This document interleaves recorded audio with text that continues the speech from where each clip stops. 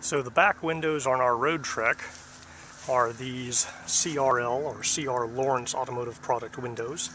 They look nice and they work pretty well until they fall off.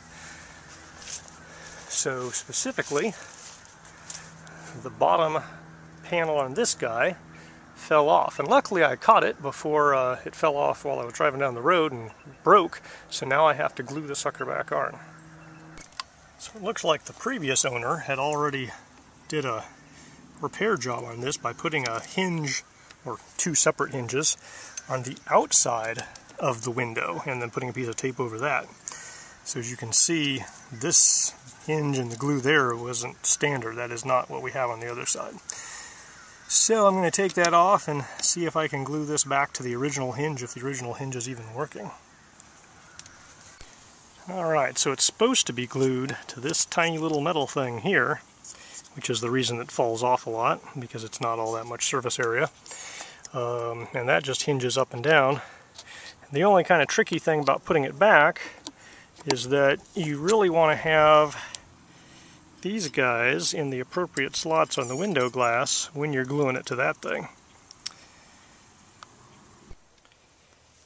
So I see evidence of several different types of glue. That might be an epoxy or a hot glue.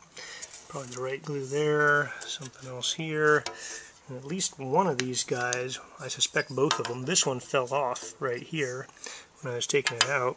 This guy's still on, but with the tape there, it has evidence that it's been glued on. So, we need to clean all of this gunk off the back of the glass here and get it ready for the real stuff. Had to guess, this stuff here is the factory urethane that fell off originally. And this stuff here is just stuff that got in the hole when they glued the hinge to the front. But we've got to get it all off. So hopefully this razor knife will get a decent amount of it.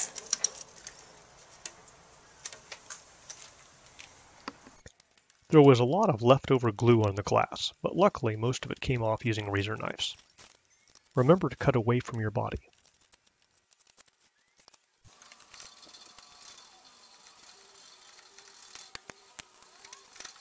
I really recommend this flat style razor holder for thin residue.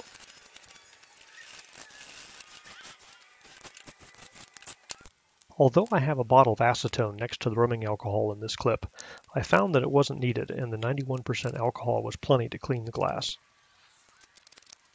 I also had to scrape the glue off of the surface of the hinge. I'm using a piece of aluminum to hold the hinge surface out away from the rubber gasket. After scraping, I sanded it to get the last little bit off, then cleaned the surface with rubbing alcohol. This Betaseal U418 is a urethane adhesive designed specifically for auto glass, and I'm happy with its performance. As it's activated by moisture in the air, if you are in a dry environment, you may wish to have a water mister on hand to activate it. Note that the tube is basically single use, and you'll need to pop the seal on the back and then pierce the front foil with a nail immediately before dispensing. It comes with this extra large nozzle, so you'll also need a special caulking gun that comes with a large enough front opening to accommodate it. The one I bought is specifically made for thicker adhesives like this, and has a 26 to 1 high thrust ratio to make dispensing easier. I also bought a heavy-duty aluminum vacuum plate glass holder, and I found it to be very useful when positioning the window. Because one of the roller arm support tracks had come off the glass, I decided to glue it back on at the same time I did the window in an attempt to line things up nicely. I attached it to the support arm with gaffer's tape. The next bit is a two-person job, so grab a helper. We worked through the full procedure in a dry run without glue, and figured out how to balance a piece of lumber to provide the downward and inward clamping force. We also figured out where to place the other clamps to hold the support track to the glass. Removing the entire window from the van and working on it separately would have made clamping easier, but as you'll see in a bit, I was able to use a collection of clamps, the heavy piece of lumber, and lots of gaffer's tape to get the glass clamped to the hinge piece overnight.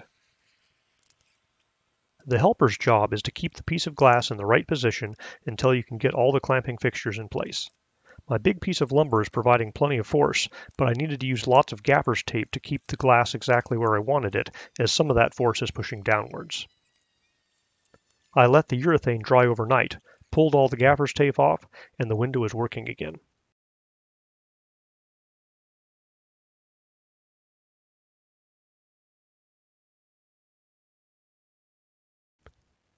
Of course, the previous repair done to the outside of the glass had left some adhesive residue on the top half, so I had to clean that up.